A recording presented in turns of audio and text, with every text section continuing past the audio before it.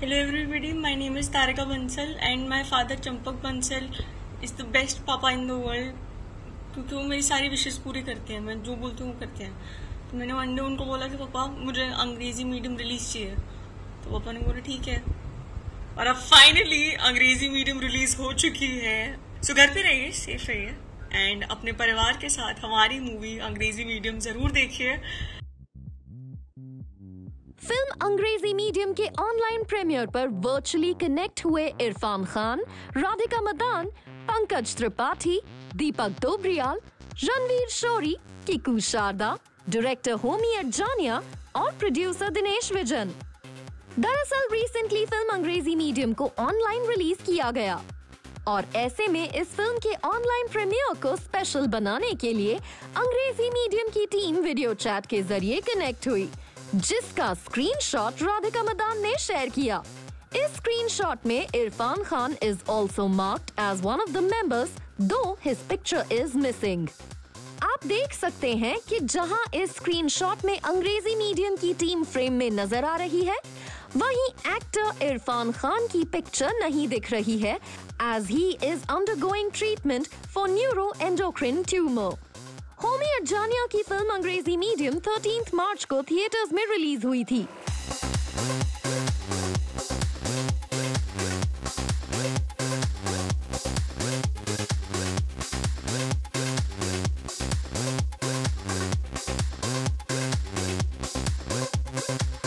लेकिन corona virus pandemic की वजह से इस फ़िल्म की रिलीज़ के नेक्स्ट डे ही मुंबई सहित कई और स्टेट्स में थिएटर्स को सील कर दिया गया। वेल well, इसके बाद मेकर्स ने डिसाइड किया था कि सिनेमा हॉल से सील हटने के बाद इस फ़िल्म को दोबारा रिलीज़ किया जाएगा। पर अब जबकि कोरोना वायरस की वजह से देश में situation day by day critical होती जा रही है और किसी को नहीं पता कि सिनेमा हॉल्स कब तक चालू होंगे ऐसे में फ़िल्म के मेकर्स ने डिजिटल प्लेटफॉर्म पर ही इस फ़िल्म को रिलीज़ कर दिया।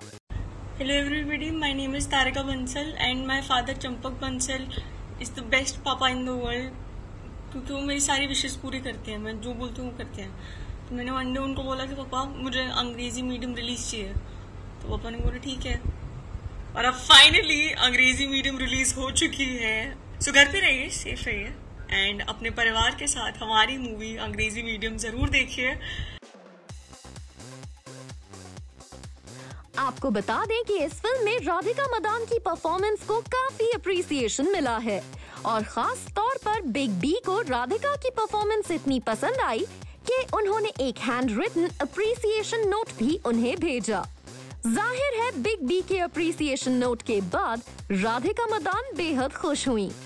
वेल वी होप इस फ़िल्म को ऑडियंस का अच्छा रिस्पॉन्स मिले। Watch E-Town News Monday to Friday at 9:30 p.m. only on Zoom.